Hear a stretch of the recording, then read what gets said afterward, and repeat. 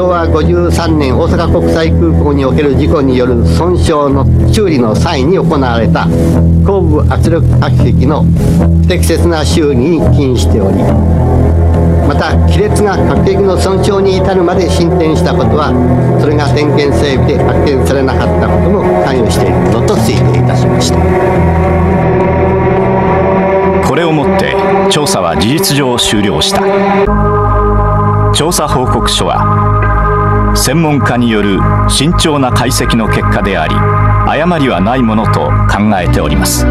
再調査を行う予定はありません。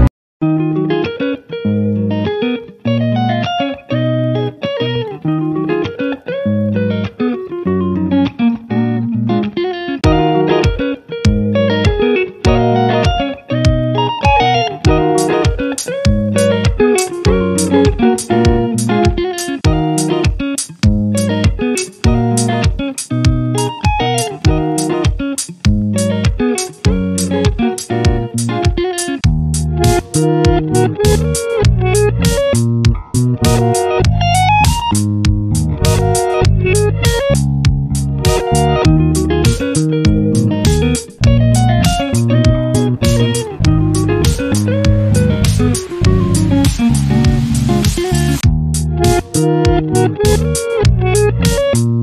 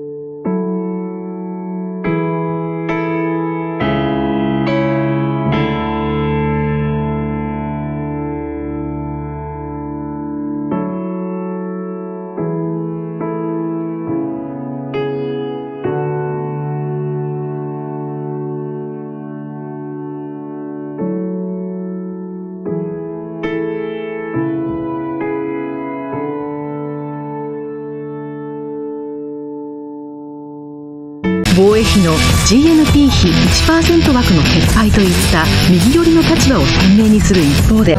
外交分野ではアメリカのレーガン大統領とお互いをファーストネームで呼び合うロンヤス関係という親密な関係を作り上げました。日米貿易摩擦問題で国民に輸入品の購入を直接訴えかけたのもこのロンヤス関係のなせる技でした。